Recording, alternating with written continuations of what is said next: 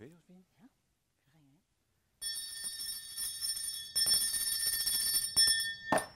Godmorgen og rigtig vel, hjertelig velkommen til Sofaskolen. Øh, vi er simpelthen så glade for, at du er kommet i skole i dag. Øh, vi har glædet os helt vildt sindssygt. Altså det her, det er jo første øh, skoledag øh, i Sofaskolen. Det er første gang, vi er mødt ind i klassen, og vi vil gerne byde jer velkommen til jeres første team. Vi har krydset af, og vi er klar til, at vi skal have dansk i dag. Mm. Og jeg vil lige sige, det er jo ikke fordi, vi synes, det er sjovt, øh, at I skal sidde derhjemme, og jeres skoler er lukket. Det er ikke på den måde, vi har glædet os over situationen. Øh, Og vi har kun fået lov til at gøre det her, fordi vi følger forholdsreglerne, altså holder afstand og god hygiejne. Og det kan I ikke se, men vi er i et stort rum, hvor der er god udluftning, så smittefaren den ikke er stor. Øh, Men når nu ikke det kan være, at man kan komme i skole, så glæder vi os over, at vi kan komme hjem til jer og undervise jer. Og øh, når man nu skal møde sine nye lærere, så skal man selvfølgelig lige have en lille navneleg. Så det foregår sådan, at du starter med at sige dit navn, ja. og så siger du en ting, der starter med samme bogstav som dit navn. Okay. Aslak. Ananas. Så gentager jeg. Aslak, ananas, Josefine, jordbær. Og så er det jo din tur derude til at gentage vores navne og finde en ting, der starter med dit forbogstav. Det kendte jeg faktisk ikke. Det er sådan, man gør på mellemtrinnet. Okay. Og øh, hvis du øh, allerede har glemt, hvad vi hedder, så kan du se her, Aslak og Josefine, vi er dine gæstelærer i de her dage i Sofaskolen. Og vi er altså kun gæstelærer, fordi det vigtige er, at I holder jer orienteret på Aula og ser, hvad jeres lærer sender ud til jer, og følger de råd og vejledninger og anvisninger, som jeres egen skole giver jer. Men vi er glade for at have jer her i dag. Og jeg vil lige sige, at der er nogle af jer, der allerede er mega seje, for I har fundet ud af, at man på sin computer eller telefon kan gå ind på menti.com, skrive koden, og jeg kan se, at der allerede er 161, der er på og giver love til Sofaskolen. Man kan heller ikke give hate, så det var jo meget nemt. Nå, øh, i dag der skal vi have dansk, og det skal handle om YouTube og formidling. Altså det der med at tale til nogen. Og det kan man jo gøre på mange måder. Man kan tale med ord, som vi gør lige nu.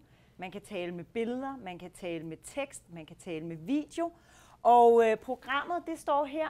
Vi er fælles her i klassen fra klokken 9 til halv 10 så får I tid til at lave opgaver frem til klokken 1. Og der skal I jo være lidt dygtige, fordi I skal selv planlægge jeres tid. Altså man må godt holde frokostpause i en time, og man må spille fodbold i øh, det tid, man nu har lyst til. Og ja, Ja, og hvordan I egentlig gør det her, det skal vi jo ikke øh, bestemme over jer. Øh, men det vigtige er jo, at I følger de her øh, regler, der er. Og hvis I skal være sammen, øh, så kunne man jo måske gøre det udenfor, altså lave det, der hedder walk and talk. Gå sammen og tale sammen med god afstand. Mm. Øhm, øh, det kan være, at I kan facetime sammen. Det kan være, hvis I har Office 365, kan I bruge Teams, eller Google, kan I bruge Groups, eller Hangout. Der findes en masse måder, man kan kommunikere sammen på, fordi det er måske sjovere, og man får måske mere ud af det, hvis man løser opgaven sammen. Men det er altså også en opgave, man kan lave alene, med sine søskende, med sine forældre. Og øh, der er sikkert også nogle af jer, der har kontakt til jeres lærer, så det kan også være, at jeres lærer har nogle opgaver til jer. Men vi har også forberedt noget til jer, så hvis I skal være med på vores forløb, så er der en opgave til jer. Den kan I jo aflevere inden til øh, jeres klassekammerater og jeres lærer, sådan så at der er nogle af jeres kammerater, der kan se det, I laver i dag. Men det vender vi tilbage til, når I får opgaven. Og så mødes vi igen her i klassen klokken 1, så der skal I være tilbage. Husk at sætte uret. Og så har vi lige et kvarters øh, fælles team. Mm. Øh, så vil vi jo rigtig gerne lære alle jer at kende. Så nu kommer øh, første test her på Mentimeter, om I kan logge ind og bruge koden, og så svare på, hvilken klasse I går i derhjemme. Her der går I jo i mellem sofa, Det er det, der svarer til øh, afkrydsning, altså protokollen Ja, ja. I, øh, i skolen, for vi kan se det. Og vi kan, vi kan altså ikke se, hvem I er. Det her det er fuldstændig anonymt, men øh, øh, vi regner med, at øh, det, det er rigtigt det, I skriver. Og jeg tror, der er så mange på, at det er lidt langsomt om at reagere det her system, Fordi jeg har en fornemmelse af, at der sidder rigtig mange og er med i, i den her klasse. Det er i hvert fald den største klasse, jeg nogensinde har været med til at undervise Ja, som lærer. Altså indtil videre, der er vi i hvert fald på 350 elever i klassen. Øh, det er godt, vi har to lærerordning. Det er jo det, ja. tænker jeg. Ja, så, Ja. Men det ser nogenlunde ligeligt ud mellem ja, 4., 5. og 6. klasse. Og derfor har vi også gjort opgaven sådan, at, den, øh, at man selv kan, kan lægge graden af sværhedsniveau. Øh, sværhedsniveau. Altså, man kan, man, der er det, der hedder undervisningsdifferentieret ind, indlagt i den. Så 4. klasse kan lave opgaven på deres niveau, og 6. klasse kan lave opgaven på deres niveau. Ja. Så det passer til alle i dag. Hvor er det fantastisk! Det er sjovt at have så stor en klasse. Altså, øh, når vi 2.000 elever i klassen i dag? Jeg ved det ikke. Nej, den tæller, den tæller. Det kan være. Men, øh, men vi kan jo gå tilbage og kigge i den øh, senere hen. Lad os bare gå videre, synes jeg. Øh, hvor mange der egentlig er i den her klasse. Yes. Øh, og så hedder det jo sofaskolen. Så øh, sidder I egentlig derhjemme i sofaen? Har I benene oppe? Har I nattøjet på? Hvordan har I det egentlig derhjemme? Det Morgenhår. vigtigste er jo, når man går i skole, at man har det godt. Så øh, hvor mange sidder egentlig øh, i en sofa derhjemme? Jeg kan se, at øh, lige nu, der er det stolen. Det er stolen. Det Ja, er stolen. Og øh, så er jeg jo altid nysgerrig efter det der andet. Hvad det nu kunne være. Kunne det være, at man lå på gulvet? Ja. Men det finder vi ikke ud af. Vi har, vi har, som I har set, lukket chatten på YouTube, fordi vi er bange for, at det kommer til at forstyrre for meget. Men hvis I har nogle tekniske problemer senere eller nu, så, øh, så er der altså en support, inde, en support-chat inde på sofaskolen.dk. Og et af de spørgsmål, mange har stillet, det er faktisk forældre, øh, som, som gerne også vil være med. Forældre kan ikke logge ind i forløbene. Det er elev, der skal logge ind med sit uni-login. Ja. Og vi tænker jo, at I må hjælpe jeres forældre lidt derude med det der med Unilog-in og logge ind. Ikke? Mm. Altså, vi har jo en kæmpe klasse med over 2.000 eksperter. Men det er først, når I kommer til opgaven, og den bevæger vi os langsomt frem mod. De sidder på en stol, Aslak. De sidder på en stol, De sidder på en stol. der, og der er altså 15 procent, der ligger i sengen. Sengeskolen. Det er, at vi også skal lave en sengeskole. Hvor er det dejligt, at man Ja. kan gå i skole i sengen. Ja, men vi kan jo vende tilbage, og vi kan jo dele de her med jer senere. Mm. Det tror jeg, vi vil gøre, så vi kan se, hvor mange vi var op på, og hvor I befandt jer. Øh, I dag der skal det jo handle om formidling, og formidling det betyder, at øh, man fortæller noget, og øh, jeg er sikker på, at der er mange af jer, der i forvejen ser YouTube. Og jeg kunne godt være lidt nysgerrig på, hvad, hvad de egentlig ser Ja. på YouTube. Ja. Hvad ser I egentlig på YouTube? Øhm, her der skal I vælge, hvad I synes, der er fedest, og I kan godt vælge øh, at give point til flere af tingene. Er det at følge hverdagslivet for en YouTuber? Er det at se unboxing, altså nogen, der pakker noget ud og viser, hvad de har fået eller købt? Er det at se videoer af spil? Er det pranks og sjov, eller er det mere tips og viden? Og så sker der jo det, der altid sker nu. Kender I det? At jeres lærer står og viser et eller andet. Sker der noget teknisk? Pop. Jeg klikker det lige væk. Og vi er klar over, at der findes meget andet indhold på YouTube end det her. Øh, men ud af de her fem forskellige muligheder, hvordan fordeler I så jeres interesser? Det er det, der er spørgsmålet. Ja. Øh, Ser du YouTube? Øh, sjældent, en gang imellem, øh, men mine børn gør rigtig meget, øh, og jeg følger ikke altid med i, hvad, hvad de ser. Ja. Så det, der er ret interessant, det her, hvad der, hvad der kommer ud af det. Altså det, jeg er allermest fan af på YouTube, det er jo, at jeg føler, at man kan lære alt på YouTube. Så hver gang jeg har noget, jeg er lidt i tvivl om, eller ikke ved, hvordan man gør, så går jeg faktisk på YouTube og finder tips og viden. Mm. Øh, og jeg, jeg kender faktisk nogen, der har lært at danse af at se YouTube. Ja, altså jeg har en søn, der har lært at skille en knaller ad og samle den igen. Mm. Øh, så det der do it yourself, mm. det er jo, men der er man selv motiveret. Nu sidder vi Mm. alle sammen og skal, have, og skal lære det samme. Do it yourself, der går du ind kun dig selv og finder ud af det. Så det er en lidt anden situation, må man sige, det her. Og nu begynder der altså at tegne Mm. Ja. sig et billede. Ja. Hvordan læser man det her diagram, Josefine? Ja, det er jo sådan et øh, spindelvæv, et æderkoppespind, og øh, alt det, I giver point, det bliver ligesom fyldt ud, og lige nu der kan vi se, at det næsten er lige meget på hvert område, men lige nu der er det spilvideoer og pranks og sjov, som I ser mest. Og vi kan se, at unboxing er noget mindre end, Ja. øh, end pranks og sjov Ja. og spilvideoer. Og hvis Ja. vi nu havde spurgt til, om I var drenge eller piger, så kunne vi faktisk have delt det her op og set, om der var forskel på jeres interesser. Mm. Og vi kunne også have kigget på klassetrin, mm. men det bliver ikke det, vi gør i dag. Mm, mm, mm. Øhm, ja, det ser godt ud. Det synes jeg. Ja, altså som skolelærer, så kunne man jo godt tænke, at øh, det er jo sjovt, at I ser mere pranks og sjov, end I ser chips og viden. ja, men øh, øh, YouTube er vel noget, man gør mest i sin fritid, så jeg synes da ikke, det er så underligt endda. Det er da faktisk ret meget, at chips ja, og viden den ja, fylder så meget, ja, og hverdagsliv, ja. i forhold til, at nogle voksne siger, at YouTube kun er et underholdningsmedie. Ja. Man kan lære meget på YouTube. Øhm, det er sådan, at øh, vi har en gæst her, som faktisk bruger YouTube rigtig meget til at formidle, altså fortælle noget. Og øh, der er måske nogle af jer, der allerede kan regne ud, hvem det er, men øh, når I ser det her billede. Men jeg tænker, Aslak, vil du ikke hente vores gæst? Det vil jeg gerne. Jeg går ud af studiet nu. Yes. Og, øh, Hej, jeg kommer nu. Kom ind. Hej, og jeg kom for tæt på. Vent. Ah, vi skal have sikkerhedsafstand, og du må spritte af. Skal man bare tage hele kroppen, eller hvad? Fra top til tå, smurt ind. Hej. Altså, hvorfor har jeg det her billede med? Nå, det er fordi, at jeg hedder Lakserytteren. I hvert fald på YouTube. Ja. I virkeligheden hedder jeg Rasmus. men ja, det er jo fantastisk, den her gif. Det er ikke mig, der har lavet den. Nej. Men tænk, at den eksisterer. Internettet er fantastisk. Jeg ved ikke rigtigt, om du er en laks, der kører på en cykel, eller en, der rider på en laks. Øh, det er jo, øh, man rider på en laks. Grunden til, at jeg hedder lakserytteren, det er fordi, at laks de svømmer mod strømmen. Så hvis man kan ride på en laks, så er man bare awesome. Yes. Og øh, jeg ved ikke, om du tør, men jeg har faktisk tænkt mig at spørge eleverne i klassen, om de overhovedet kender dig.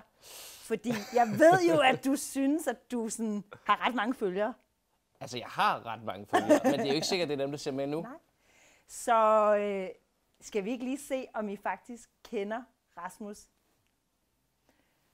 Kan vi se? Vi kan se det her, og der går lige et stykke tid, inden at det, øh, det tækker ind. Så skal man padle. Ja, altså hvordan er det, at, altså gælder det om at have mange følgere, eller? Nej, det synes jeg ikke, det gør. Det gælder om at have nogle, det gælder om at lave noget fedt, ja. der gør, at dem, der ser med, har lyst til at følge med. Mm. Så de kan engagere sig. Mm. Så hvis man elsker at tegne, så er det fedt, at der er nogen, der elsker også at tegne. Så kan man gøre det sammen. Mm. Det er lidt lige meget, om man har 10 eller 100. Mm.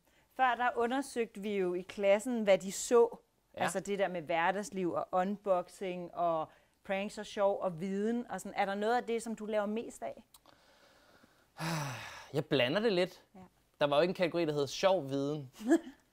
det kunne godt være sådan noget. Jeg laver ikke så mange pranks, men jeg laver mange dårlige jokes. Ja. Og jeg lærer meget folk at tegne ja. og være kreativ. Så det er sådan lidt viden måske, ja. tænker jeg. Så kan man lære at tegne? Ja, ja. Over hos dig? Ja, det kan man sagtens. Ja. Uha. Indtil jeg føler, jeg har vundet det, den her ser konkurrence. det godt ud. jeg har altså tabt min mikrofon nu, så den kommer ud af mit ben lige om lidt. Jeg siger det bare. Så hvis I tror, der er sådan en bæver, der er på vej op af mit inderlov, så er det altså ikke. Det er bare mikrofonen. Jeg tror faktisk, det er ude af billedet, så måske kan I ikke se det. Derude. Hold derop. Se. Jeg sætter ned sokken nu. Så. Altså, da jeg gik i skole, der var det sådan noget med, at min lærer stod og skulle forsøge at få et øh, videobånd ind i en videomaskine. Ikke? Vi er lige nået niveauet øh, længere her. Vi har problemer med mikrofonerne. Ja, men det er sindssygt. Sådan her. Okay, Fantastisk. Jeg er Okay, ved du hvad, Rasmus, vi kan godt konkludere, at her på mellemtrinnet, i mellem sofa, der ved de godt, hvem du er. Yes. Jeg har lige mistet 10 procent dog, så det var på grund af mikrofonen, eller hvad? Come on, så vi ikke kendte hvem. Øhm, jeg har sådan et uh, Superman-citat, som I uh. måske også kender, og det er, at når man har meget power, meget magt, meget øh, at skulle have sagt, så har man også et stort ansvar. Det er faktisk et Batman-citat. Er det Batman? Ej, se, det er klassisk, det, ikke? Det er Batmans onkel. Eller nej, vent, det er Spider-Man. Det er Spider-Man? Det er Spider-Mans onkel, Spider der siger det til ham. Ja. Det ved I bedre, end jeg gør. Ja. ja. Øhm, altså, jeg har jo sat mig for, at jeg skal lære noget her i dag. Ja, dejligt. Altså, så tak for det. Når man nu har sådan et stort ansvar, uh. øh, og har så mange følgere, ja. skal man så tænke over, hvad man siger, eller er, er det noget, jeg sådan synes som skolelærer? Har man ikke lidt det samme ansvar, om man er skolelærer, eller YouTuber, ja. eller øh, sidder nede i, ved kassen i Netto, eller ja. er statsminister, ja. at man skal... Jeg har sådan en teori, der hedder, hvis man Hvis man smider lort ud i verden, så bliver verden et mere lortet sted. Ja. Men hvis man smider blomster ud i verden, så bliver verden et dejligere sted at være. Ja. Så jeg tror, vi alle sammen har det samme ansvar. Men det er klart, lige den her tid, hvor øh, der, det er vigtigt, at vi alle sammen hjælper hinanden mm. og får delt en masse information ud, som er rigtig information, mm. så synes jeg, at øh, os, der har et stort publikum, mm. øh, virkelig tager teten mm. og øh, hjælper myndighederne med at sige mm. alle de vigtige ting. Mm. Fordi nogle gange, så kan det godt være lidt svært, tror jeg, for øh, undervisningsministeren, statsministeren, mm. politiet, mm. at ramme nogle unge mennesker. Og det er jo det, som influencers og YouTubere er rigtig gode til. Og det er jo også det, jeg tænker, at hvis der sidder nogle af jer derude og godt kunne tænke sig at sige noget på video, så skal man jo tænke over, at man, der er jo faktisk nogen, der lytter på, og ja. man faktisk kan komme ud med et budskab ved at sige noget på YouTube. Øh, og så tænker jeg lidt, der er en anden opgave. Ja. Og det er dem, der sidder derude, jer, der sidder derude. Hvor meget tænker I egentlig over, hvad der bliver sagt? Altså tænker I, at øh, alt, hvad der bliver sagt på YouTube, det er rigtigt? Og tænker I, at øh, alt, hvad der bliver sagt på YouTube, det er helt ægte? Fordi øh, jeg ved, der er nogen, der tjener penge også Ja, på det er YouTube. det da. Men øh, man sidder vel heller ikke og ser øh, Disney-film og tror, at alting er ægte. Jeg ved det ikke. Skal vi ikke spørge dem, om, om øh, skal vi ikke spørge dem derude, Jo, om de jo. sådan faktisk forholder sig til det? For jeg har et øh, nyt spørgeskema med. Hvor kritisk er du egentlig, uh. hvis du skulle vurdere dig selv? Og øh, jeg har skrevet her, jeg undersøger alt. Jeg tror ikke på alt, hvad jeg ser, og jeg tjekker, om det er rigtigt. Hvis du skulle vurdere dig selv på den her skala, hvor ligger du så henne? Jeg kender i hvert fald mange, der i de her dage ser Facebook-post og YouTube-videoer og opdager, at der faktisk bliver sagt noget, som ikke er rigtigt. Ja, Ja. sådan er det hele tiden, tror jeg. ja. Spændende. Det er spændende. Vi venter og ser, om der kommer nogen ind. Øh, Jeg, har jeg du ved, jeg ved ja. ikke engang, hvor jeg vil være på den her Ja, skala. hvor vil du være? Måske lidt i midten, Ja. måske. Og måske faktisk lidt mere til slet ikke. Jeg tror, jeg er lidt dårlig til at følge op på ting, jeg hører. Ja. Jeg kan godt hurtigt blive sådan, hvor jeg hører noget og tænker, nej, hvor er det vildt, og så skynder man sig at sige det til nogen. Ja. På et eller andet tidspunkt, så møder man et andet menneske, som, har, som ved noget rigtigt, og så siger de, det du siger er forkert. Så Ja. bliver man så lidt pinligt. Altså, jeg ved jo i hvert fald, at jeg skal tjekke op på, hvem det er, der siger det der med, at hvis man har meget magt, så har man også et stort ansvar. Ja, for eksempel. Ja. Altså, jeg tror, jeg ligger øh, ret langt op ad listen. Ja. Altså, jeg er jo sådan en, hver gang der er nogen, der skriver noget på Facebook, så tænker jeg, "Ah, kan det nu være rigtigt? Altså, jeg er meget skeptisk. Ikke? Så når folk de skriver, se her, hele øh, Australien brænder, der blev delt sådan kort, så tænker jeg, ah, kan det nu være rigtigt? Mm, Ja, okay. ja. Ja. I ligger faktisk ret pænt i midten. Det synes jeg er ret fedt, at der er mange af jer, der lige tjekker, kan det nu være rigtigt? Ja, men det er vel også forskel på, at der er en forskel på, hvad det er for noget information, ikke? Fordi der, et, det ene er, her er et kort over øh, spredningen af coronavirus, mm, eller her er en øh, graf, der, for, der fortæller noget omkring øh, brændende nede i Australien. Mm. Men der kan jo også være andet info, for eksempel, hvordan man ser ud på et billede. Er det Photoshop, eller er det ikke Photoshop? Mm. Hvor, hvad, hvad er det, man siger i en YouTube-video? Hvis man har den vildeste ferie nogensinde, mm. er det så i virkeligheden den vildeste mm. ferie nogensinde? Så der er mange forskellige ting. Der er også nogle ting, der er lidt svære at tjekke. Ja. Og, og jeg tror, at det er en ret kendt historie, det der med, at man jo kun ser noget. Ja. Ikke? Altså, det er jo ikke alle, der har sin telefon med hele dagen. Og, og sjældent altså, har man den jo med, når man keder sig. Det gider man jo ikke dele. Nej. Så det, man ser på YouTube, det er jo bare det bedste af det bedste. Ikke? altså, det er, når Jo, det er jo. sjovest og fedest og mest spændende. Øh, 2,9. 2,9. Det er over halvdelen. Det kan være, når I spørger igen ja. om en måned, Ja, så kan det være, at folk har ændret holdning. Altså, så kan det være, at de er blevet mere kritiske. ja. Og Eller mindre. Mere. Mm. Øhm, jeg tænker også, at øh, hvis man nu gerne vil i gang med at lave YouTube-videoer, Mhm. så kan det jo godt være svært at føle sig sådan rigtig god til det første gang. Ja. Kan du huske den allerførste video, du sådan lagde ud? Jamen, problemet med internettet er jo, at den første video, jeg lagde ud, ligger der jo stadigvæk på min YouTube-kanal. Man kan jo bare gå ind og scrolle ned og så se, hvad det er for noget. Det er lidt noget andet. Ja. Øh, men jeg kan faktisk huske, jeg startede jo faktisk med at lave videoer på Snapchat. Og det ligger der ikke mere. Men den første video, jeg lavede, det var sådan en helt vildt dårlig story, hvor jeg tegnede helt vildt grimt oven på en tomat, og så var det en Pokémon. Mm. Og så var det sådan helt akavet, så lavede, lød jeg som om, at jeg fangede en tomat i en Pokéball. Altså, det lyder mega sejt. Jamen, det var, ideen var meget god, men i forhold til, hvor godt jeg tegner nu, så var det rigtig dårligt tegn. Ja. Følte du dig god, dengang du lagde den video ud? Nej. Nej. Det var en test. Ja. Altså, jeg tænker, at øh, man er nødt til at starte et sted. Nå, ja, selvfølgelig. Ja. Øh, fordi der kunne godt sidde nogen derude, måske, og have lyst til at lave YouTube-videoer, og kigge på dig og tænke, det kan jeg ikke. Ja.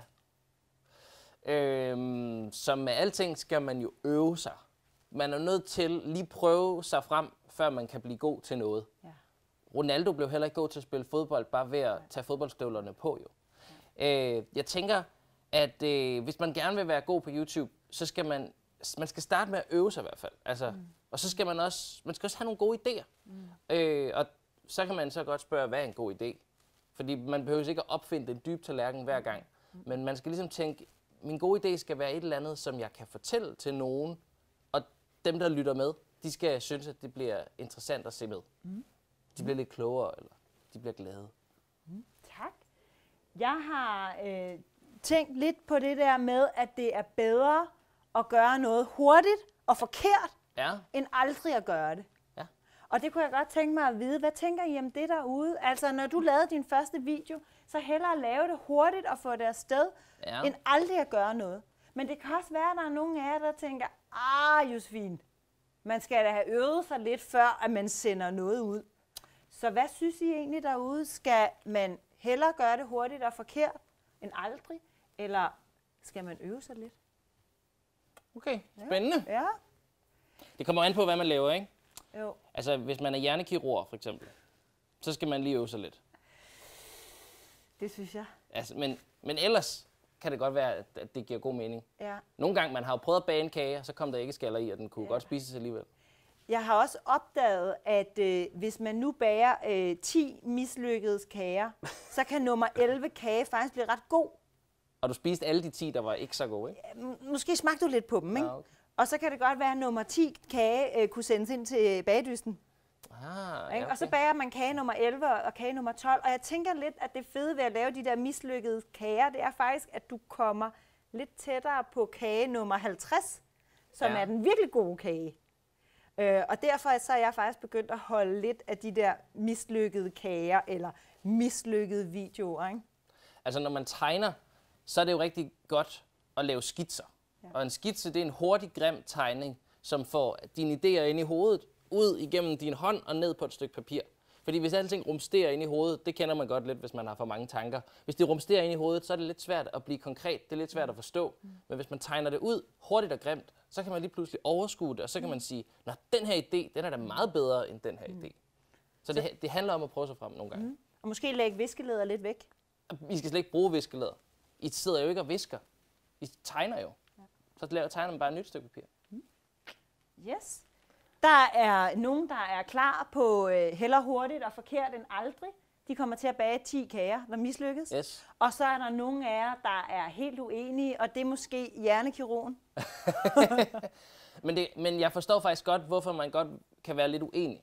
Fordi det jo også, det betyder meget for en at lægge sådan en video på YouTube. Man skal lige tænke sig om, fordi så snart du har lagt videoen op, så betyder det, at andre kan se på den, nogen har mulighed for at kommentere på den, mm. og nogen har mulighed for at øh, sige deres mening om mm. den. Så man skal lige mærke efter, inden man lægger noget ud på YouTube, og derfor kan det jo godt give mening at lave 10 videoer på sin egen telefon. Vise dem til sine venner, sige, har I nogle gode tips og tricks, og så bagefter lægge det ned på YouTube, når man føler sig lidt mere ready. Det synes jeg er et, øh, et virkelig godt råd, det der med at lave det. Måske lægge det ind i sin klassemappe, mm. eller få nogle af sine kammerater til at, at melde tilbage på det. Hvordan det er? Altså et, et godt råd, øh, som jeg har lært af en, en god veninde, er, øh, som hun sagde til sin dreng, var, at du skal ture og vise din video til en helt fremmed på gaden, før du lægger den på YouTube. Mm. Fordi det er vidderligt det samme. Mm. Der kommer til at være nogle mennesker, du slet ikke kender, som kan finde på at sige, altså, whatever de har lyst til, til din video. Ja. Øh, så der skal man lige være lidt modig mm. og prøve sig frem. Mm. Altså, jeg synes jo, vi er vildt modige her, mm. fordi vi laver jo faktisk Sofaskolen live for første gang nogensinde. Og jeg har aldrig haft over 2.000 elever på én gang. Og jeg er simpelthen så glad for, at I er med derude. Det er også mange. Jeg har tre gode råd, som, som, øh, som jeg plejer at give til mine elever, Ja. når de skal lave video. Og dem får I selvfølgelig også her. Måske kender I nogle af dem. Mit første råd, det er, at øh, det faktisk kan være en rigtig god idé at have headset på til lyd, hvis man nu ikke lige har en mikrofon, og hvis man nu går og filmer et eller andet sted, uh-huh. hvor der er meget larm, og man skal kunne høre, hvad du siger. Uh-huh. Øh, så kan det, at du har dit headset på, bare lige bundet om nakken, det kan faktisk give lidt bedre lyd. Det en god idé. Mm. Øh, må, jeg, må jeg kommentere på det? Ja, Det kommer... Mikrofonen i din telefon, den sidder her. Så det vil sige, jo tættere du er på med din mund, jo bedre er lyden. Og det vil sige, hvis du begynder at filme nogen, der står langt væk, så bliver mikrofonen dårligere, plus den vender den forkerte vej. Øh, så derfor kan et headset også være en god idé. En anden ting, man så kan gøre, er, at man kan, man kan optage sig selv tale, og så lægge det ind over sit video bagefter, hvis man sidder og redigerer. Så der er flere muligheder. Mm. Og så er det næste tip, jeg har til jer, det er, at øh, i stedet for at optage sådan 20 minutter, hvor du bare går rundt og filmer, så hellere optage nogle små klip af gangen, så du lige filmer, om jeg sidder her og fortæller det her, og nu skal jeg herover og filme noget. Så starter og stopper du, sådan så du ikke har et kæmpe langt uoverskueligt klip, og ikke kan finde det igen. Så når jeg laver video med mine klasser, så kommer de meget nemmere igennem. Altså det er meget nemmere for dem, hvis I ligesom bruger optageknappen til at klippe med. Så man sådan filmer, jeg sidder her, stopper igen, går over et nyt sted. Det er Mhm. nemmere at sætte små klip sammen. Ja, Hvad tænker du om det råd? Jeg tænker, det er et rigtig godt råd. Øh, man kan jo starte med at gå ind på sin yndlings-YouTubers Instagram, og så tælle, hvor ofte de klipper på et minut, for eksempel. Ja. Øh, hvis man går ind på, kender du det, så er det måske 50 gange på et minut. Ja. Og hvis man går ind på Astrid Olsen, så er det måske lidt mindre. Øh, men det betyder også noget for, hvad det er for en rytme, og hvad for en stil, og hvad for et tempo, man laver sin video i. Så det synes jeg er en rigtig god idé. Og så har jeg jo det sidste råd, som vi har snakket lidt om.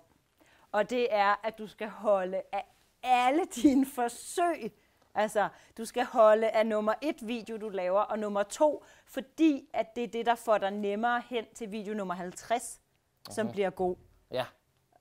Og så kunne man jo også godt sige, at nogle gange er første take ikke altid det bedste take. Så det er okay at lave introen fem gange, Ja. ja. og så vælge den bedste. Og det kan man nemlig lidt nemmere gøre, hvis man kun filmer en bid ad gangen. Ja. Så man øver sig lidt, også mens man klipper. Ved du hvad, Rasmus? Jeg vil sige tusind tak Selv for tak. dit besøg her som gæstelærer. Det var sjovt. Og øh, så tænker jeg, at øh, dig og Aslak, I kan bytte sådan med god sikkerhedsafstand. Jeg ved ikke, hvordan vi kommer forbi en anden Aslak. Held og lykke. God YouTube-dag. Tak, hej. så får vi lige Aslak tilbage igen, fordi I skal jo til at arbejde nu. Og øh, inde på sofaskolen.dk, der ligger der dagens opgave til dig. Og du skal vælge mellem to typer opgaver, hvis altså du skal lave vores opgaver. Det kan jo også være, at din lærer har et par opgaver til dig. Og øh, det, man kan vælge mellem, det er, at man kan vælge mellem at lave en præsentation. Så du kan altså vælge at formidle, fortælle noget med en præsentation. Det er altså et slideshow, eller en powerpoint, eller hvad du nu er vant til at lave noget i. Og den her præsentation, den skal handle om YouTube for dine forældre. Så hvis nu, at du skulle lære dine forældre noget om YouTube, hvad vil du så fortælle dem? Måske vil du fortælle om en YouTuber, du kender. Måske kommer der faktisk en præsentation af Rasmus, lakserytteren. Hvem ved? Du kan også vælge den anden opgave, og det er at lave en øh, video, altså at lave øh, dit eget forsøg på en YouTube-video. Og øh, jeg kunne godt tænke mig at vide, hvad, altså, hvad vælger de? Ja, og det kan vi jo finde ud af ved at spørge dem, Ja, hvis de skulle svare lige nu. Ja. Fordi øh, de skal også have lov, eleverne, I skal have lov til at komme ind og kigge på undervisningsforløbet, for der er et helt undervisnings lille instruktion og nogle videoer til jer, sådan så I ikke er på helt bare bund. Det skal vi nok vise jer lige om lidt, men umiddelbart, Ja. ja. er det en video eller et slideshow, I vælger, når I hører de to muligheder, der er.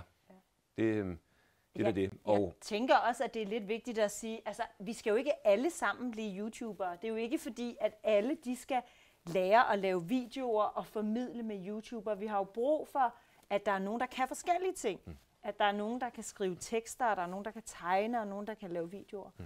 Men stort set alle bruger jo sociale medier, og hvis man selv har prøvet at lave en video, så ved man også bedre, øh, hvordan man skal være kritisk over for en video, fordi så kan man jo finde ud af, hvordan det er skruet sammen. Så har man ligesom skilt det ad og samlet det. Så kender man systemet, en video, hvordan den påvirker os.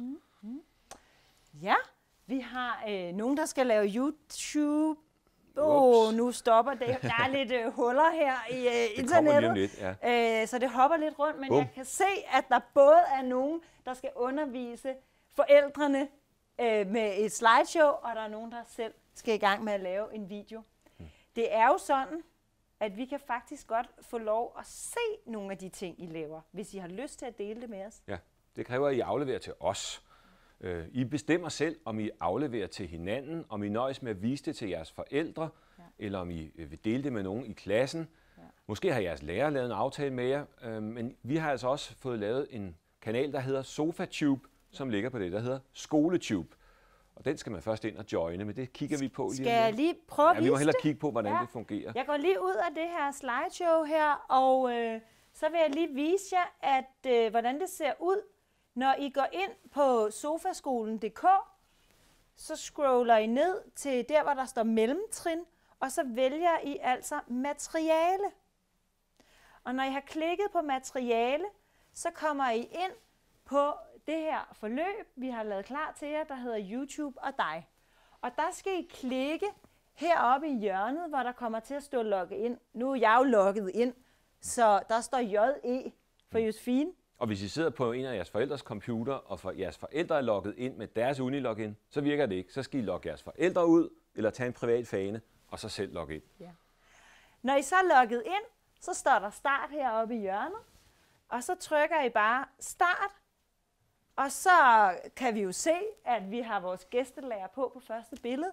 Der er noget, du skal læse, og der er en video, du skal se, og så er der noget, du skal gøre. Man kommer videre ved at trykke herop på pilen. Mm. På et tidspunkt i forløbet, så er der en knap til det, der hedder Sofa Tube, som altså er vores lukkede videokanal, som det kun er dem, der er logget ind med Unilogin, der kan se. Så hvis du har lyst til at lægge dine ting ud, så skal du altså ind på Sofaskolens SofaTube-kanal. Og joine den her. Ja. Og så er det altså kun dem, der har joinet den kanal med deres Unilogin, og så er det os, øh, der, kan, der kan se, hvad det er, I laver. Og hvis der er 2.000, der afleverer en video eller en præsentation, så kan vi jo ikke nå at kigge på dem alle sammen. Men vi skynder os at kigge på så mange vi kan, og så når vi vender tilbage, Ja. så vil vi kommentere på et par stykker af dem, mm. øh, så man forhåbentlig kan, kan lære noget mm. af at høre, hvad, hvad vi har tænkt, når vi har set det. Det er jo sjovt, når andre ser det, og høre, hvad de tænker. Ja. Så lige nu, der er videokanalen tom, Men der er masser af brugere, der allerede er joinet, kan vi se. og vi glæder os til at se, hvad der kommer.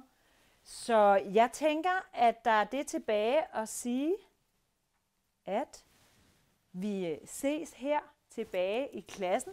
Til tiden skal du sidde der klokken 1, og øh, du skal selvfølgelig sørge for at holde frikvarter i mellemtiden. Få noget frisk luft.